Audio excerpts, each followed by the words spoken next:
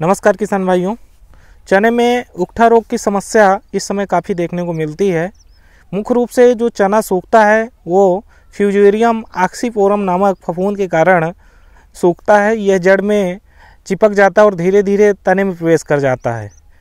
दूसरा जो कारण है, वो है मृदा जनित बीमारी। कई बार किसी तत्व की कमी के कारण भी चना सूखने लगता है, जिससे किसान भाइयों को काफ़ी ज़्यादा नुकसान देखने को मिलता है। तो किसान भाइयों को सबसे पहले चना बोनी के पहले बीज उपचार फफूंदनाशक से ज़रूर कर लेना चाहिए।